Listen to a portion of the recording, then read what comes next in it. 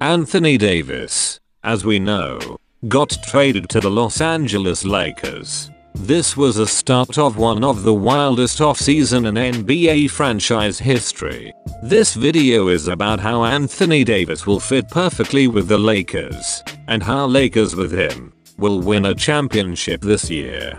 Davis is coming off of a season in which he averaged 25.9 points in only 33.0 minutes per game. He shot 51.7% from the field, 33.1% from 3 point range and 79.4% from the free throw line. Solid splits for a player his size. The 3 point shooting is a relatively new side to his game. Davis attempted 2.63 pointers per game this season, up from 2.2 in 2017 to 2018 and 1.8 in 2016 to 2017. He made them at a below average rate compared to the rest of the NBA but opponents still respect him when he catches the ball on the perimeter, largely because he's long been a solid mid-range shooter. Where Davis separates himself from other power forwards and centers as he can attack closeouts by putting the ball on the floor.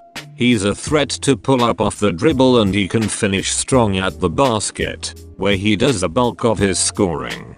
Davis can pick mismatches apart in the post when teams switch those pick and rolls as well, which would come in handy against switch heavy teams like the Golden State Warriors and Houston Rockets in the playoffs. According to the NBA, only 7 players generated more points per game than Davis in the post this season. He's not the bruiser Embiid is, but Davis knows how to use his size to his advantage and has a soft touch in the paint. It helped him average 0.97 points per post-up possession this season, ranking him in the 62nd percentile. Davis isn't just an elite scorer on offense. He averaged 3.9 assists per game this season, close to double his previous career high that he set last season. 2.3. He's willing to make the extra pass when teams throw multiple defenders at him, something that happens often due to how versatile and dominant of a scorer he is. That'll only make the front office's job easier to build around him and James moving forward, as they are both unselfish players who draw a lot of attention whenever they take the floor. Davis is also a fantastic defender, and one of the best defenders in the league right now. To go along with all that skill on offense, Davis is one of the league's premier defenders.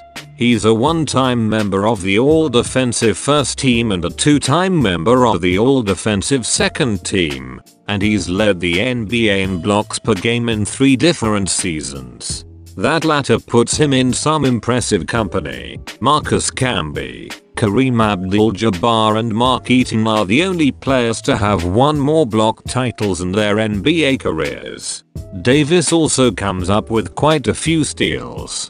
The same long arms that have turned him into a terrifying rim protector have made him a pest in the passing lanes, and he's capable of turning live ball turnovers into easy baskets for himself and his teammates in transition.